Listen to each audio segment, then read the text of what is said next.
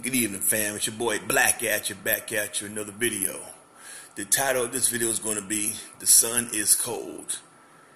Now you're probably saying, Black Atcha, what you mean the sun is cold? It's hot. Okay.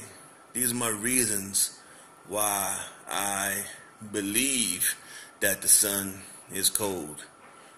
For once, first re- reason, say when you're in a plane, you're traveling somewhere and there's a screen in front of you, mostly in front of um, your chair where you're sitting at. There's a screen that tells you the temperature of the out, the outside temperature of that airplane. Most when you're flying up by between 30, 37,000 feet, you know, the temperature ranges between 50 and 60 degrees Fahrenheit below freezing. So, so as we fly higher and higher, and higher, closer, close to the sun, don't you think that the temperature should be getting warmer? But it does not. It gets colder. You know, you should think, okay, the sun is, is, is high above us, so inner space, outer space, and interstellar space should be warm, but they're cold. The moon is cold. You know, the distance between the Earth and the sun is 149.6 million kilometers. And the distance between the moon to the sun ranges between 147 to 152 million kilometers. So therefore, you must say, okay, why is it it's shifting? Because the moon is orbiting also. That's why it ranges between 147 to 152. So sometimes it will be closer to the sun but why is it cold?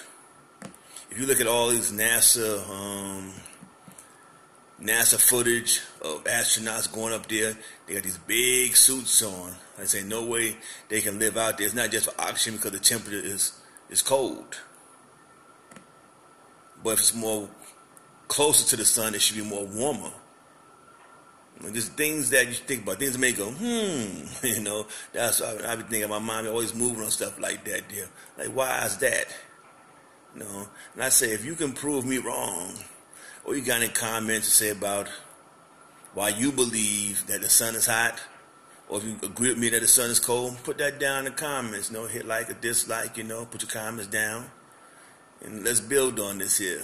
Because I always think that every time I'm on a plane, I'm like, damn, we get high and higher, the goddamn plane, but it's getting cold as fuck out there. But we laying down on Earth, it's like 80 degrees, 75 degrees. Why is Earth so warm and up there so goddamn cold? Space is so cold, the moon is so cold, but us down here, we are warm.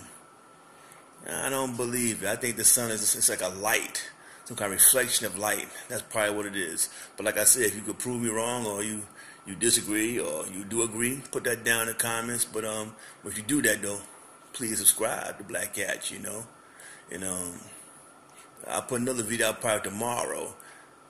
This one's gonna be about blue eyes. You, matter of fact, no, I'm, I'm, I'm, gonna give you a special bonus tonight about that shit there for a couple seconds. There's not too much to build on this damn thing. On Earth, you see green eyes, brown eyes, gray eyes, and blue eyes, don't you? Do you agree? Yes or no? Sure you do. But you are wrong. There's no such thing as a, a blue eyed person. If you don't believe me, go look that up. There's no such thing as a blue eyed person. So there's no such thing as a blue eyed devil. There's no such thing as blue eyes. If you don't believe me, go do some research and come back at me on that deal, you know. But like I said, if you like this video, press like. If you dislike it, hit dislike, throw your comments in. But please subscribe to Black Atcha because we're bringing more and more videos out that I'm sure you would enjoy. So on that note, dear, have a good evening. Black Atcha's out. Peace.